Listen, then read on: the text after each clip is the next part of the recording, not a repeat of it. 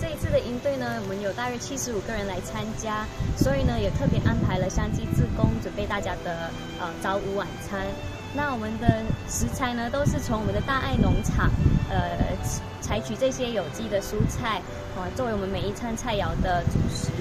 那今天看到自工们呢，他们准备晚餐的材料一点都不简单，因为要呃准备这一道菜肴呢，就要先捣碎花生粉。